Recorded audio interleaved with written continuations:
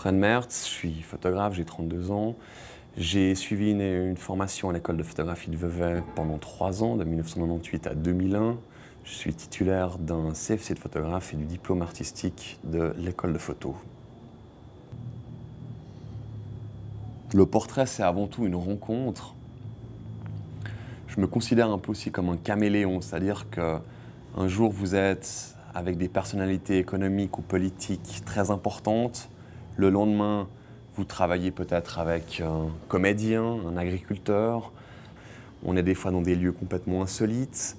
Euh, voilà, le portrait, c'est une rencontre, un échange, le flash, c'est une façon pour moi de, mettre en lumière mon sujet.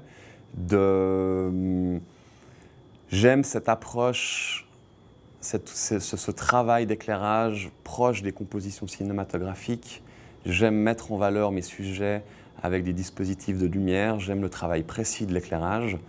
En même temps, ça me permet techniquement d'avoir euh, une netteté beaucoup plus précise sur mon sujet, de centrer et de mettre en valeur euh, mon sujet dans son environnement. Mes dada photographiques sont principalement axés autour du portrait, la relation que je peux avoir avec des gens, le partage, la rencontre avec l'autre. Euh, également un traitement du portrait très esthétique, euh, je, revendique ce, regard esthétique euh, sur, ce monde qui m'entoure, le monde que je traite, comme avec ce dernier travail en date que j'ai réalisé à Rio de Janeiro, au Brésil, sur les catadors, donc ces trieurs de matériaux recyclés. Euh, j'ai souhaité montrer ces gens qui sont les acteurs masqués de la pollution. Ils font partie de cette chaîne protectrice environnementale montrer ces gens qui, à 10 ans en arrière, étaient considérés euh, comme des marginaux. Aujourd'hui, ils ont un statut de travailleur. Ils gagnent jusqu'à 5 fois le salaire minimum brésilien. Euh, ils font partie d'un cercle de travailleurs et sont reconnus en tant que, en tant que tels. Jardim Gramacho étant la plus grande décharge de ciel ouvert d'Amérique du Sud, euh, elle, représente, elle s'étend sur plus ou moins 130 terrains de foot. Elle a une hauteur de pas loin de 70 mètres de haut. C'est pas loin de 280 millions de tonnes qui proviennent de la ville de Rio de Janeiro ainsi que de six banlieues avoisinantes. Il y a à peu près 3500 personnes qui y travaillent. Euh, on y trouve tout type de déchets, plastique, PET, papier, aluminium. Euh, déchets pharmaceutiques, déchets industriels, également des animaux morts et parfois même des cadavres humains. J'ai commencé ce travail euh, à peine arrivé au Brésil, me rendant dans la première supérette du coin. Pour trois articles achetés, huit sacs plastiques m'entouraient.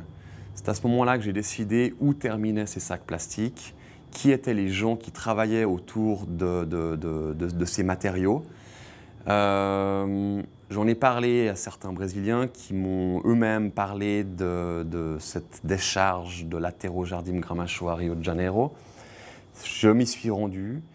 Euh, nous étions avec un journaliste suisse euh, et nous avons simplement expliqué que nous étions intéressés à parler de ces gens.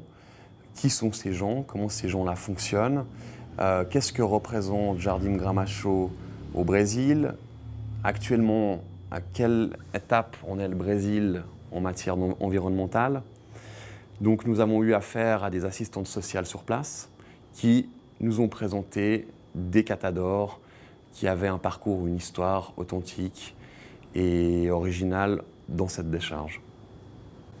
J'ai eu une émotion visuelle dans ce second reportage qui fait donc partie d'un volet, d'un deuxième volet sur un travail que j'effectue au Brésil depuis 2009 ces catadors transportent à eux-mêmes environ 500 kg d'ordures par jour sur leur tête, d'un point de récupération à un point de stockage. Ces gens-là travaillent dans des conditions extrêmement difficiles, insalubres. Mon but était de montrer un pays émergent avec des gens émergents. Ces catadors, ces recycleurs, symbolisent ces pays qui ont compris que le déchet faisait partie de leur développement économique.